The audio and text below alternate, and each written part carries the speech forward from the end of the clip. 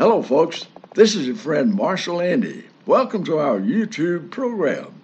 We call Marshal Andy and Friends, the Loudon Sessions. I hope you enjoy our show today, and many thanks for stopping by.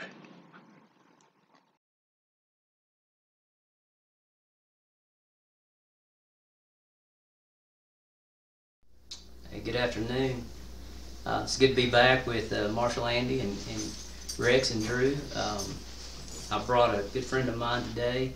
Um, I call him Brother Clifton Posey. He's been my choir director for 20 plus years, and he, he was serving the Lord in that uh, capacity for well over that 40 years or so, but uh, 50.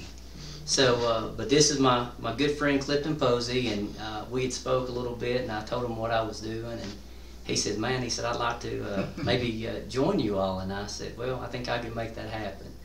And uh, so uh, I'll let him uh, talk about the song he's going to sing and what it means to him and you know myself, and uh, I'll give it to Brother Clifton. All right. Well, I'm glad to be here. Jason told me about this, and I said, "Well, yeah, I'd like to go and uh, and watch." But he said, "No, you're going to sing." so, well, we could do that too, I guess.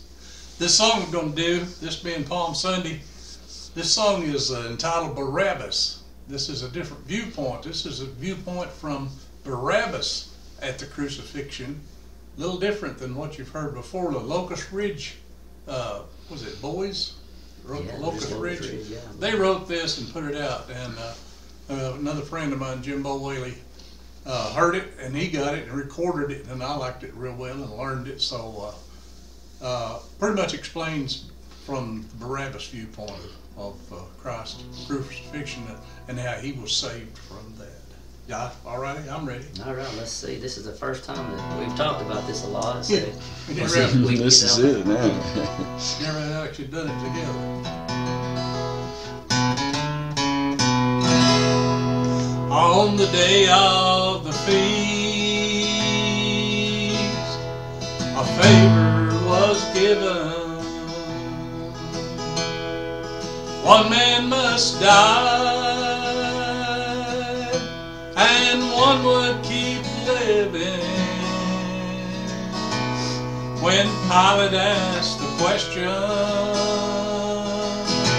which way will it be? And they cried out I could go free. I am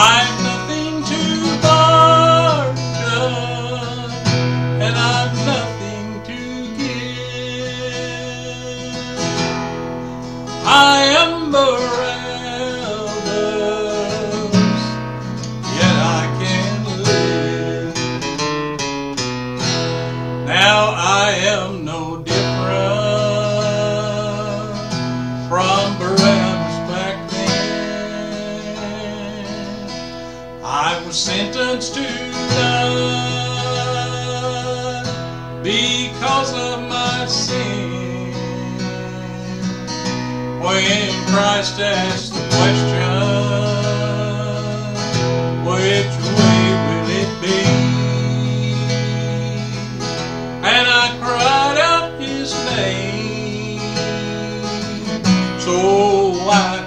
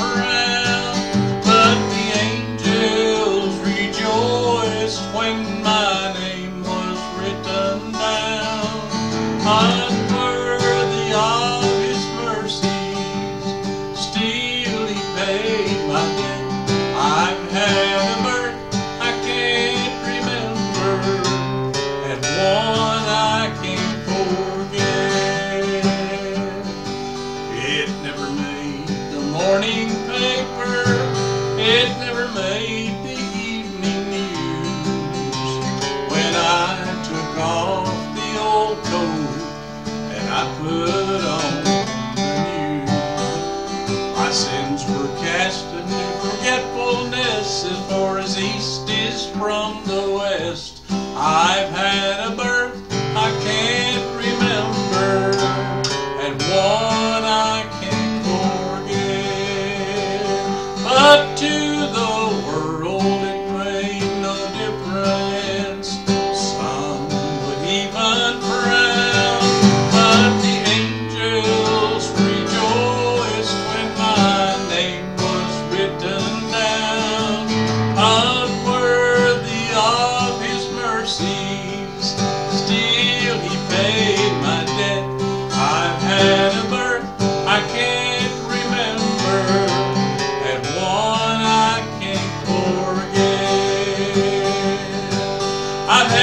had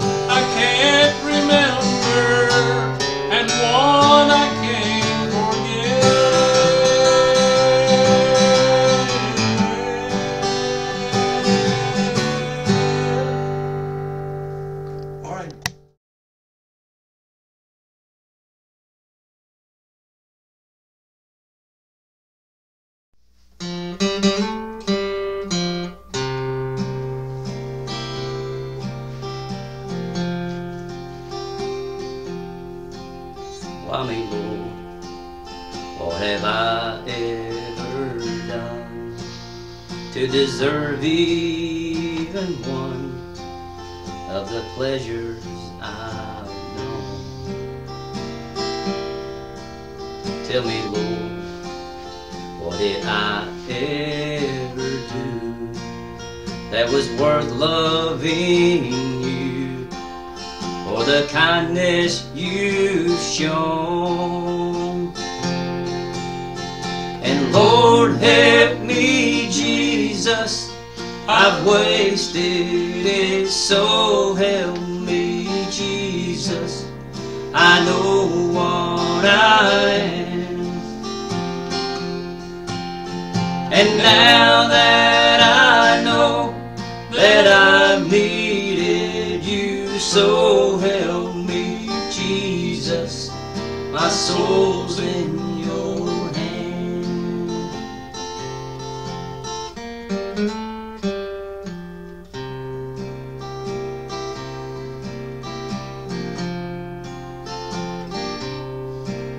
Tell me, Lord, think there's a way I can try to repay all I've taken from you.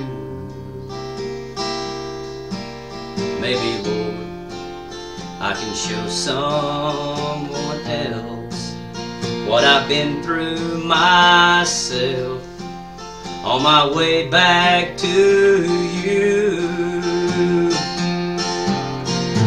Lord, help me, Jesus. I've wasted it, so help me, Jesus. I know what I am. And now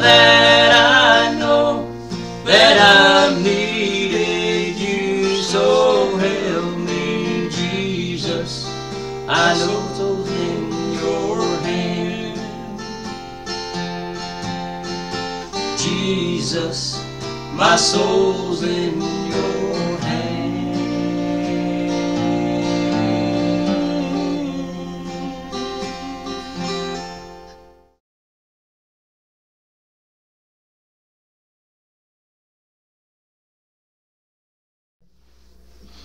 Thank you for joining us, ladies and gentlemen, for episode number 17 of Marshal, Andy, and Friends, Live Loudon Sessions.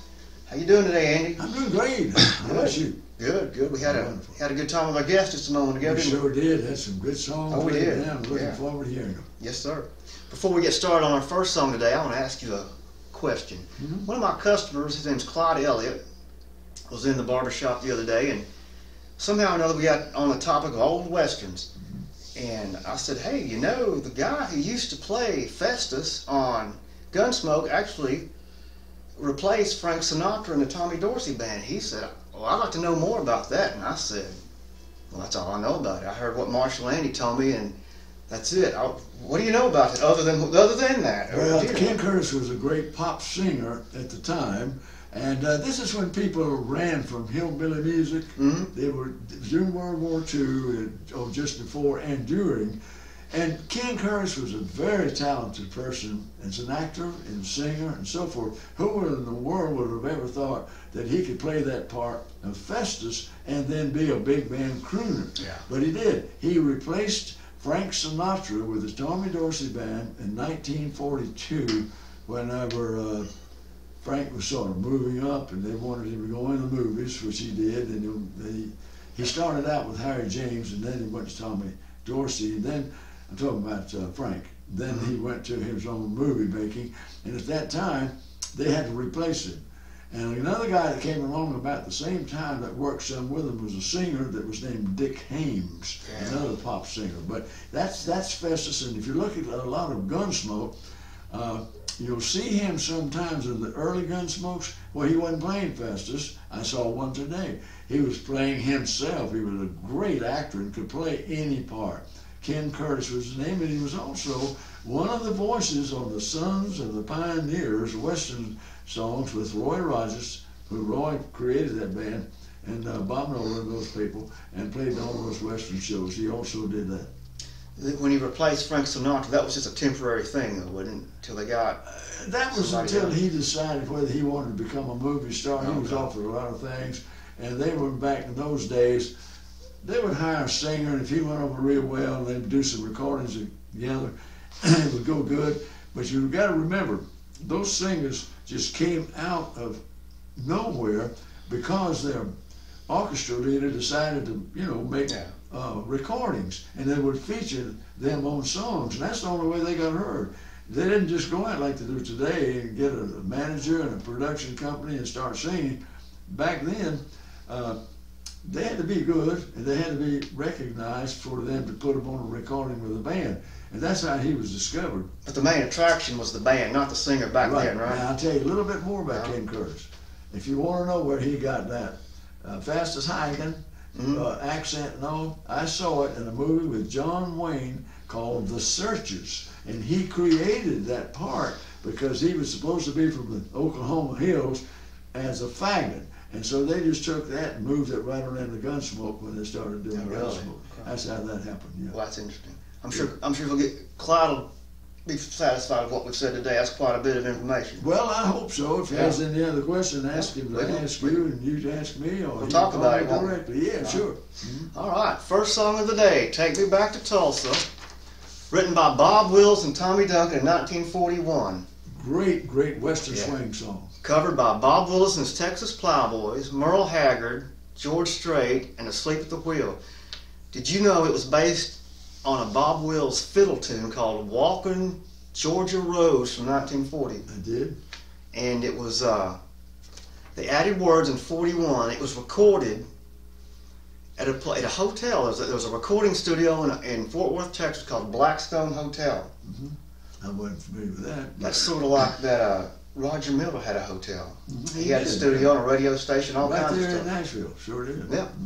But anyway, that's what I found about it. It's a good, Well, let's see little good up, can do a upbeat little tune. bit of it. Yeah, This would be Western Swing. yes it will. I don't think we've ever done a western swing. All right.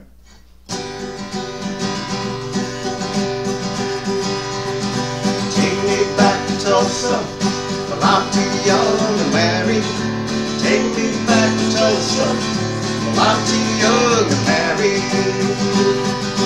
Walking city, walking across the city, walking across the city, walking across the city.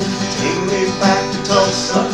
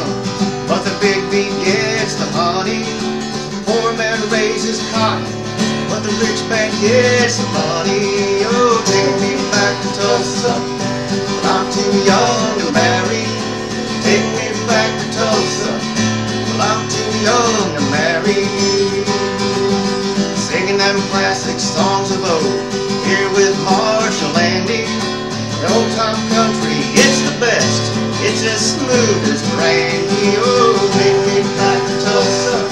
Well, I'm too young to marry. Take me back to Tulsa. I'm too young to wed thee.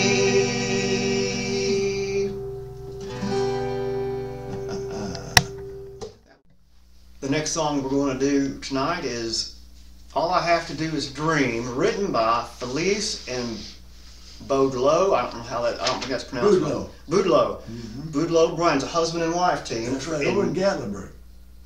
Oh, it's from, from Gatlinburg. Yeah, they were in a hotel room. They own a hotel in Gatlinburg. Okay. In 1958, covered by the Everly. Everybody knows the Everly Brothers song, which I just now found out. They're from East Tennessee too. Went to West High School. Well, actually, they were from Kentucky. Their dad got transferred uh, to Knoxville, and they went to West High School, graduated there, and uh, they always called Knoxville home later on. And Okay. Chet Atkins heard them, and he got them started.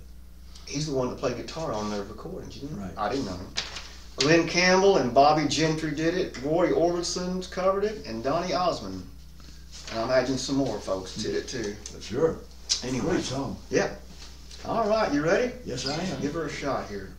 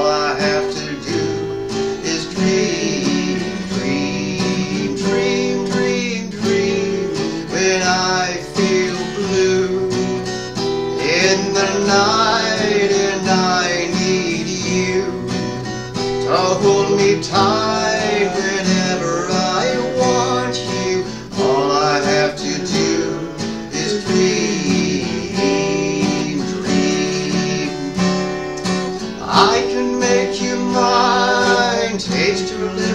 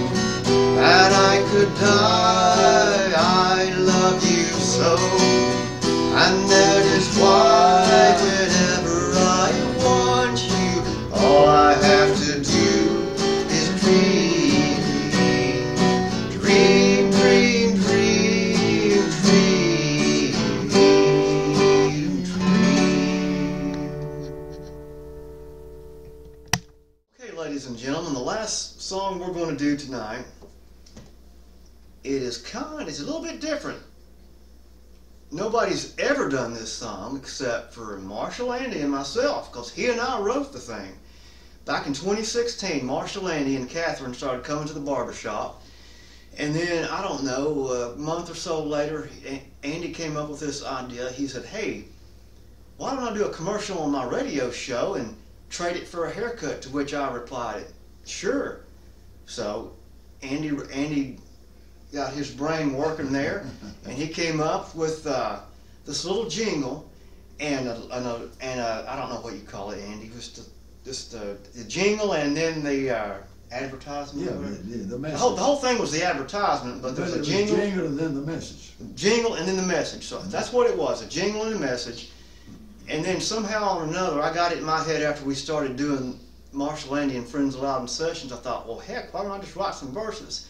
So I wrote four verses to this jingle and the message. So Marshal Andy and I wrote this song together That's right. You built your verses around around your jingle and your message. Mhm. And anyway, that's what we're going to do tonight. It's called, uh, I just called it Step Right In, Step Right Down. It came from, It was a song oh in shoot, the movie that No. played it. Uh, I'm trying to think of who sang it. oh crap. I'm going to look it up right quick. This is going to take a little time up, folks, but this is worth it because, hold on just one second. I'm going to look it up on YouTube Music. I looked it up the other day. It was by a band called something. Um, my YouTube Music app's got to load. Hold on a second.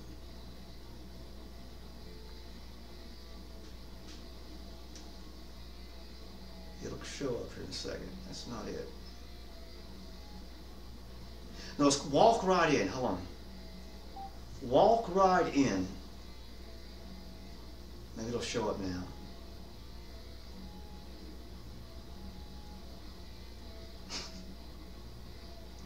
The name of the song was Walk Right In. Hold on a second. Walk. It was from the movies where I got the tune. The rooftop singers or the people whoever wrote it i mean whatever movie it was in mm-hmm. that's fine but the name of the band the name of the song was walk right in by the rooftop singers That was it. It was big. It went to Was it? One, oh yeah, it was big. it's not exactly how i did it and how you did it but we got the, you got the idea from this It was, yeah. Really, I, I got it because you walk into the door in your place, you walk in the door, you step right down, yeah and then you sit right down, and then you, you know, get your hair cut. yeah and kill this out but anyway that's how this song came to be folks and uh there you have it all right are you ready I am Let's get it. to go. Okay. For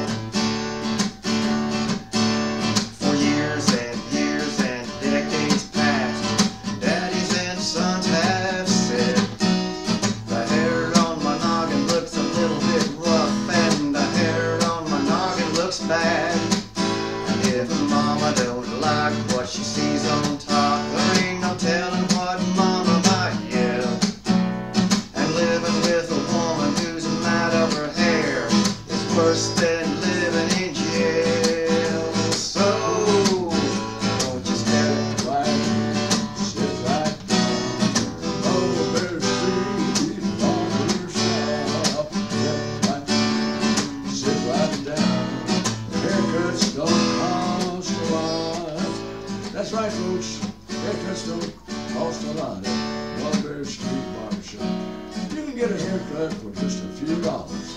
And if, you know, you uh, think that you're in the middle of Mayberry, North Carolina instead of Loudon, Tennessee. That's right. It's right behind Greer's Home Furnishings on Highway 11. You know, they cut the hair your way, the way you want it. And services are provided by appointments, Tuesday through Saturday. Mulberry Street Barbershop. You can even get, an Andy